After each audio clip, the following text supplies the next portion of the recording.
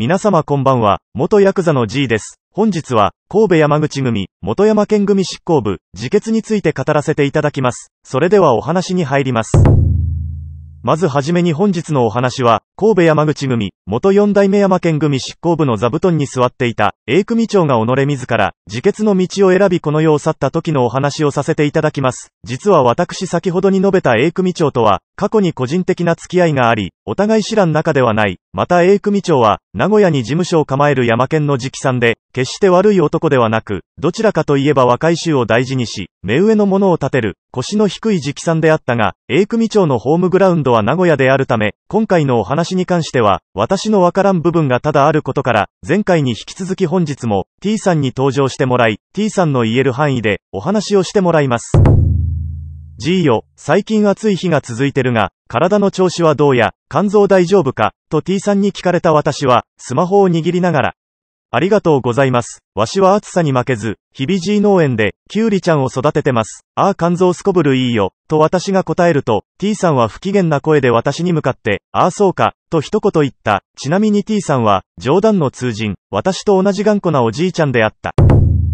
G 君よ、ところで今回の話やが、わしはこの話を耳にしたとき、なぜかわからんが心に何か突き刺さるものがあった。所詮神戸山口組は、そんな組織か、と思たんや、と T さんは真剣な声で私に言った。T さんの言葉を聞いた私は、一瞬頭の中に A の顔が浮かんだ。T さん、A が自決したことの成り行きをすべて、金沢が記者会見で、こと細かく説明しとったが、どこまでがほんまの話でっか、と私は T さんに聞いた。T さんは戸惑うことなく私に向かって、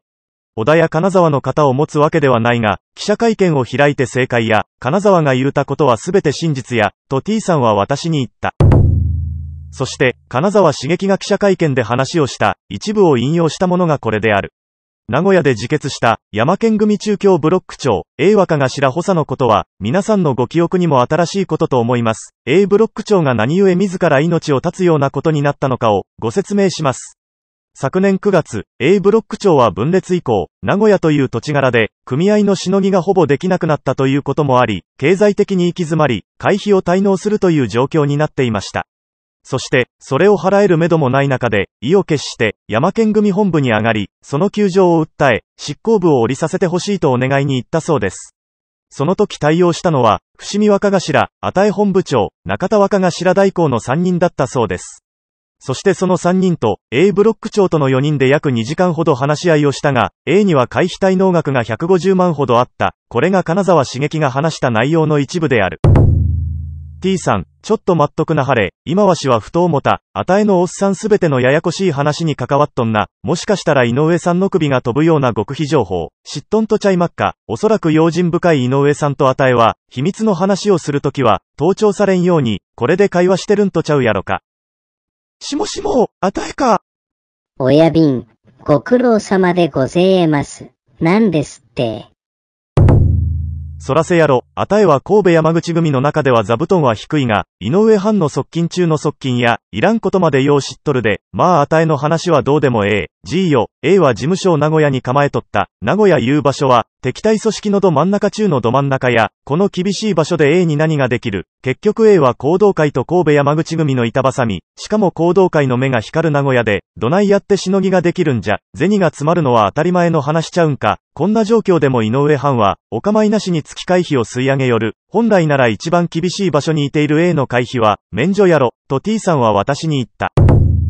T さんの言葉を聞いた私は、T さんそらそうですわ。敵陣のど真ん中にいてる組織から、銭を吸い上げるということは、対立組織のことはもうどうでもええ。銭だけは上に上げろということか。T さんの言うように本来なら名古屋に応援部隊を送る。もしくは会費を免除して逆に銭を掘ったる。これぐらいの器量がなかったら、組織の下の者はついてきまへんな。確かこの当時の四代目山県組の執行部と言われる。若が白補佐は約10人から11人。この中の一人に三代目竹内組組長、金沢茂樹も入っとった。言い換えれば A と金沢は兄弟分の関係、このような理由もあり、任教山口組が記者会見を開いた時に、金沢は A の課題を挙げたということですね、と私は T さんに言ったのであります。T さんそれともう一つ、気になったことがおまんねんけど、映画回避延滞の件で、花熊の本部に上がった時に、この件の対応をしたのが伏見さん、中田さん、あたえ、なんで副組長の小田さんが、この場にいてなかった、小田さんはこの4人の中では座布団が一番上の副組長ですやんか、と私は T さんに問いかけた、T さんは私に向かって、いやいや小田が一番上ではない。一番上は伏見や、小田は副組長という肩書きを持ってたが、この後ろには若頭代行の肩書きも持ってた。だが副組長は形だけのポスト、実質は頭代行というポジションや、一言で言うたら小田は、若いもんからは人気があったが、古参からは邪魔者扱い、ただ単に井上藩から可愛がられてただけの男や、小田が出しゃばれば古参は、ええ顔はせん。またこの場に小田がおれば、会費のことは免除でよろしいがな、と言いよる。なぜならば中田さんと仲の悪い小田は、必ず中田さんとは反対の意見を言う。このような理由で、小田は外されとっただけの話や、と T さんは私に言ったのである。G よ、ほならそろそろ A が、延滞した会費の件について話をさせてもらうぜ、と T さんは、私に言った、私は、T さん、よろしゅうに、お願いごぜます、と答えた。先ほどにも言ったように、A は会費を払いたくても払える状況ではなかった。わしは正確な金額はわからんが、金沢が言うように約150万ということは、3回4回の延滞やろな。そして A は己の立場をわきまえた上で、やはり山県の執行部の者が回避延滞となれば、さすがに格好はつかん。また組織に迷惑がかかると思った A は、己自ら執行部を降りるために、花熊の本部に上がり話をした。この時に対応した者が、前々術に述べた、伏見と中田と与えの三人の男や、だが三人の男は、とりあえず先に目の前の回避延滞の銭をきれいにしろと A に言い寄った。A は銭の工面が難しいと答えた。三人のうちの誰が言うたんか知らんが、それやったら名古屋の事務所を、担保にして銭を用意してこい、という話になった。と T さんは私に言った。このようなことを言われた A は、一旦名古屋に戻り事務所を担保に金策に走ったが、名古屋では銭を作ることができんかったことで、これを報告した結果、中田さんのつてで事務所を担保に、銭を貸してくれるとこが見つかった。言うまでもなく不動産価値以下の銭。例えば不動産価値が1000万とすれば半分以下の銭ということやな。要はかなり足元を見られた銭や、そしてこのできた銭で、延滞の回避をきれいにしたが、言わんでもわかるように、もう二度と事務所は、A の手元に戻ってくることはなかった。言い換えれば事務所を取られたということやな、と T さんは私に言った。T さんの話を聞いた私は、さすがあたえのおっさん、わしが天に代わって、お仕置きじゃと私が言うと T さんは、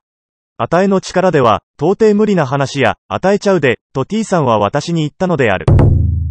A は今回延滞した会費は綺麗にしよったが、次の会費があればその次の会費もあるがな、けども A の手元には何もない、それに事務所を担保にして銭を作ってこい、というような話を聞いたことがあるか、しかもただの会費の延滞だけの話やないか、G よわしは、こんな身内をいじめる話は生まれて初めて聞いた。そして A はいろんな面で悩みに悩んだ結果、己自ら首を吊りこの世から去った。それともう一つ、わしは昔から A のことを可愛がっていた。お前も田三郎の後藤が殺められた時に、悔しい思いをしたやろ。それと同じや、と T さんは私に言った。私はまたもや頭の中で、後藤、とクエスチョンマークがついたのであります。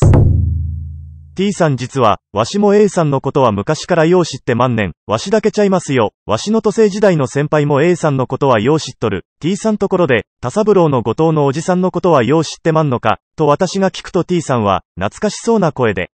後藤が朝の会近藤組の若が白をしとる時からよう知っとるがな、兄貴はかなりの行動会嫌いの男で、また蛇年、それは執念深い男ですがな、と T さんは意味ありげに私に言った。この T さんの言葉を聞いた私は、はーいちょんちょんと、顎が外れるぐらいにびっくりした、というお話である。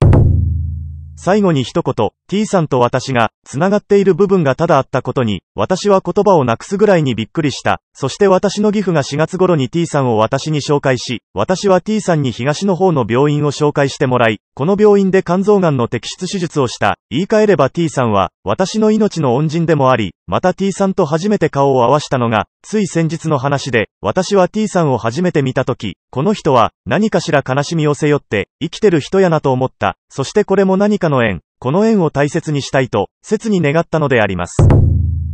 チャンネルの都合で動画の変更がありましたが、次回の動画は、完結、山県組 VS 行動会、雨だれは三途の川、というような動画を配信いたしますので、またご視聴のほどよろしくお願いします。